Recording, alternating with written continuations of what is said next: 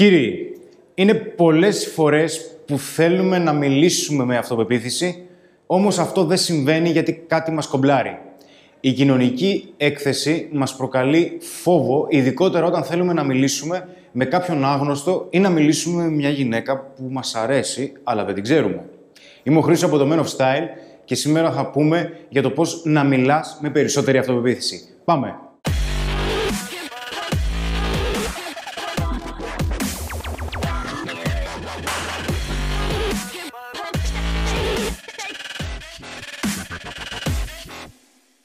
Όμως, ποιος είναι ο λόγος που δεν επικοινωνούμε με τόση αυτοπεποίθηση όσο θα θέλαμε; Η κοινωνική έκθεση, όπως ανέφερα πριν, μας προκαλεί κάποιο είδος φόβου. Η σημαντικότερη φόβη που αισθανόμαστε είναι αρχικά ο φόβος τη αποτυχίας. Πολύ απλά γιατί σκεφτόμαστε περισσότερο τι έχουμε να χάσουμε παρά τι έχουμε να κερδίσουμε.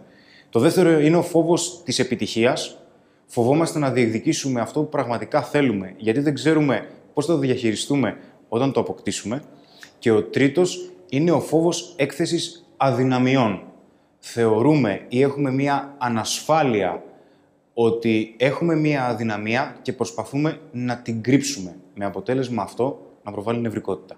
Όμως με ποιο τρόπο οι συγκεκριμένοι φόβοι που αναφέραμε πριν μας επηρεάζουν τον τρόπο που επικοινωνούμε με αυτοπεποίθηση; Ο φόβος είναι ένα συνέστημα και ο τρόπος που αισθανόμαστε επηρεάζει άμεσα τη γλώσσα του σώματός μας. Όταν φοβόμαστε και δεν αισθανόμαστε άνετα σε ένα περιβάλλον, για παράδειγμα, είμαστε περισσότερο καμπουριαστοί. Μπορεί να είμαστε ανέκφραστοι. Ή μπορεί να έχουμε σταυρωμένα χέρια γιατί βρισκόμαστε σε άμυνα. Άλλο ένα χαρακτηριστικό, το οποίο το έχω αναφέρει και σε άλλο βίντεο, είναι πως δεν χαμογελάμε ποτέ. Η εκφραστικότητα είναι ένα πολύ σημαντικό χαρακτηριστικό και σχετίζεται άμεσα με τον τρόπο που αισθανόμαστε. Όπως πολύ σωστά θα αναρωτιέσαι, Πώς εν τέλει επικοινωνούμε με περισσότερη αυτοπεποίθηση. Ο φόβος είναι ένα συνέστημα και όσο περισσότερο συγκεντρώνεσαι σε αυτόν, τόσο περισσότερο μεγαλώνει. Αντί αυτού, μπορείς να συγκεντρωθείς στο τι συναισθήματα προβάλλεις, όπως για παράδειγμα ενθουσιασμό και θετικότητα, τι συναισθήματα προκαλείς στους άλλους, όπως για παράδειγμα με το χιούμορ, στοχευμένο πάντα, ή τι συναισθήματα βοηθάς τους άλλους να εκφράσουν. Αντί για να ρωτήσεις κάποιον απλά πού πήγε διακοπές, μπορεί να το ρωτήσεις ποιο είναι το σημαντικότερο γεγονός, το πιο ξεχωριστό πράγμα που συνέβη στις διακοπές του.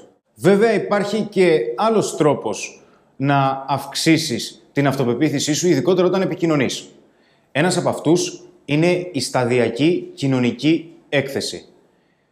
Κακά τα ψέματα. Φοβόμαστε να μιλάμε σε αγνώστους ή τουλάχιστον το αποφεύγουμε. Οπότε ένας απλός τρόπος για να αρχίσει να αποκτάς κοινωνική άνεση και όχι μόνο με γυναίκες, είναι να ρωτήσεις μία απλή πληροφορία έναν άγνωστο.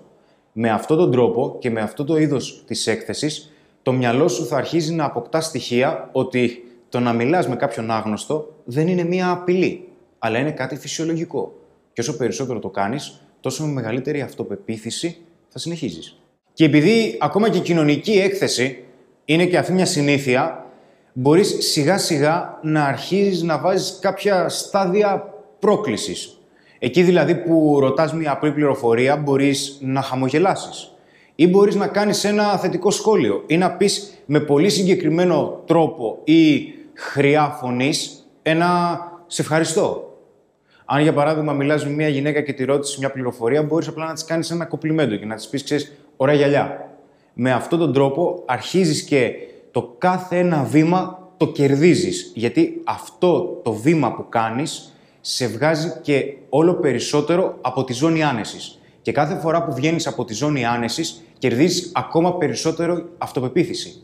Γιατί αυτό που θα πρέπει να θυμάσαι για την αυτοπεποίθηση είναι ότι δεν έρχεται πριν κάνεις κάτι, αλλά μετά. Η αυτοπεποίθηση κερδίζεται όπως και οποιαδήποτε επιτυχία.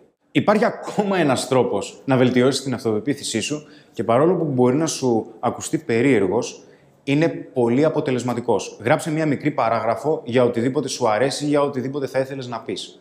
Και πήγαινε και προβαρέτην μπροστά σε ένα ασφαλές περιβάλλον, το οποίο δεν είναι άλλο από τον καθρέφτη σου. Σιγά σιγά και με την εξάσκηση άρχισε να κάνεις βελτιώσεις ώστε να σου αρέσει αυτό που βλέπεις.